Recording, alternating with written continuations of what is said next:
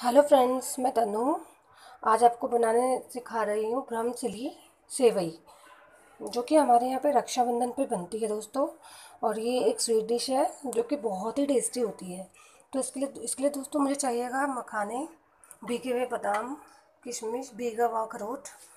और दोस्तों ये है ब्रह्म से, ये तो है दोस्तों सेवई, पतली पतली होती है ये।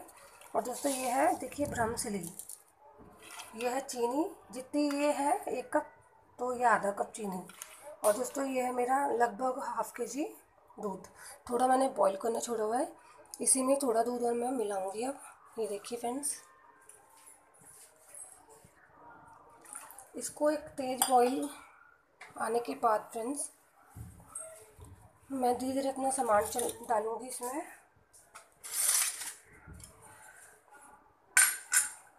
क्या है ना फ्रेंड्स मैं आपको बता दूँ सेवई तो थोड़ी जल्दी गल जाती है, पर ये जो ब्रमसिली है ना फ्रेंड्स ये थोड़ा टाइम लेती है पकने में।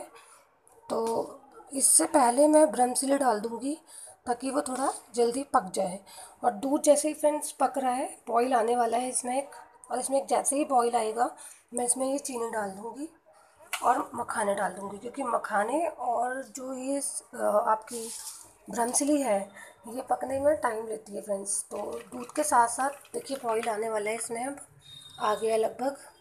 तो मैं इसमें ये सारे के सारे मखाने डाल दूँगी, ताकि ये बॉईल के साथ साथ गल जाएँगे।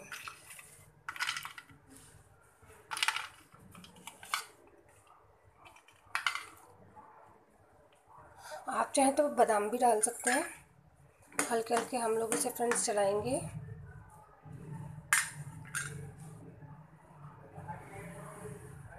ये देखिए, इसमें बॉईल आ गया फ्रेंड्स अब ऊपर आने को हो रहा है एकदम। जैसे ये ऊपर आएगा फ्रेंड्स तो सबसे पहले मैं जितनी भी ब्रम्स ली है, वो डालूँगी। ये जितनी भी ये निकाल के और ये ब्रम चिली मैं इसमें डाल दूँगी फ्रेंड्स और जितनी भी ये सेवैयाँ हैं, इनका मैं चूड़ा बना लूँगी। ऐसे हाथ से, ताकि ये थोड़ा छोटी हो जाए। और अच्छी लगे फ्रेंड्स खाने में आपको। ये देखिए, ये इतने यहाँ पे जगह पकेंगे ब्रमसिली और मखाने। इतने ये यहाँ पे पक रहे हैं फ्रेंड्स इसलिए मैंने पहले आपको ये डाल दिया था ताकि इसको टाइम ज़्यादा लगता है। तो ये पकेंगे आराम से, इतने हम बाकी चीज़ें इसमें डालेंगे। और इसी बीच में दोस्तों, हमारा जो बादाम है, वो सॉरी हमारे जो मखाने हैं, ये भी पक जाएँगे। अब इसी बीच फ्रेंड्स इसको अच्छे से चूड़ा कर लेंगे। इसी से हमारे यहाँ पे फ्रेंड्स पूजा होती है, रक्षाबंधन वाले दिन। उसके बाद राखी बांधी जाती है। ये चीनी भी फ्रेंड्स मैं इसमें डाल दूँगी, क्योंकि चीनी से क्या है ना, थोड़ा पानी भी बनेगा। तो उसकी कंटे इसका जो थिकनेस है, थोड़ा ठीक हो जाएगा।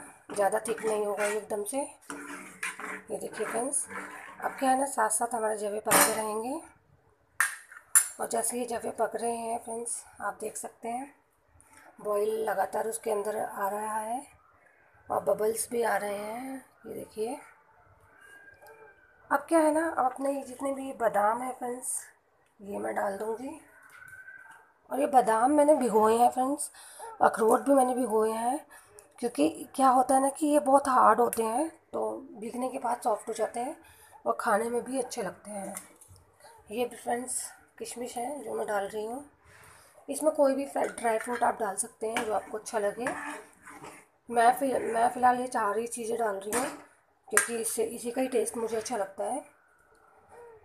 अब फ्रेंड्स ये जो ब्रम्स ये जितनी, ये जो सेवई है पतली वाली, अब मैं इसे डालूँगी, क्योंकि ये जो होता है ये दूध पी जाती है फटाफट। और इसके चक्कर अगर हम इसे पहले डालते तो जो हमारे जवे हैं ना, जो ब्रम्स लिए वो पकते नहीं।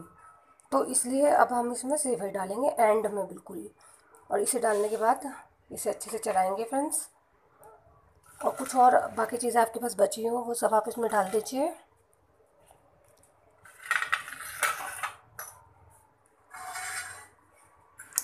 चलिए, अब इसे अच्छे से चलाएँगे, देखिए। अभी दोनों मिक्स होके ना फ्रेंड्स जो इसका टेस्ट आता है ना, वो अलग ही आता है।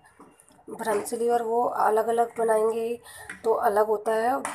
क्या होता है ना, सेवई जो होती है फ्रेंड्स वो बहुत जल्दी दूध को पीकर एकदम से ठीक हो जाती है।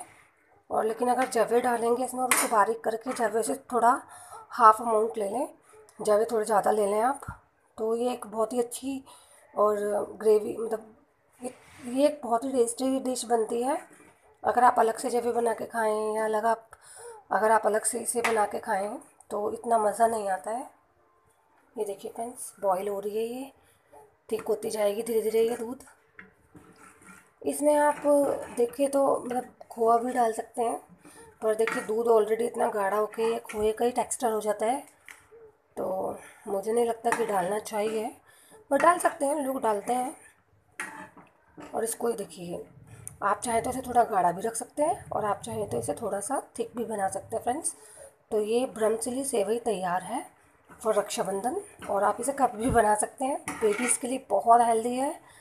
मेरा बच्चा तो इसे खाता है और आप भी बनाइए और इसे खाइए। तो ये बहुत ही अमेजिंग डिश है। स्वीट डिश है ये। ये देखिए फ्रेंड्स मैं अभी आपको ये सारी दिखाऊँगी फिर से। ये देखिए, ये बन चुकी है। लो, इसको थिक भी कर सकते हैं आप, अगर थिक खाना चाहते हैं तो। बट मेरे हिसाब से तो ये ऐसे ही ठीक है। इतना ही होना चाहिए इसको। वरना फिर ज़्यादा थिक भी नहीं खाई जाती बच्चों से भी। इवन हम भी नहीं खा सकते। अब फ्रेंड्स इसमें मैं थोड़ा सा डालूँगी अपने ड्राई फ्रूट्स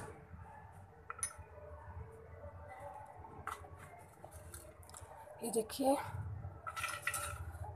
तो फ्रेंड्स ये मेरी ब्रम्सले सेवई तैयार है। आई होप आप इसे बनाएँगे और ये खाने में बहुत स्वाद होती है। मीठा कम ज़्यादा आप अपने हिसाब से रख सकते हैं। तो आप इसे बनाइए, खाइए और मेरे साथ शेयर कीजिए और ये बहुत ही हेल्दी रेसिपी है for your babies thank you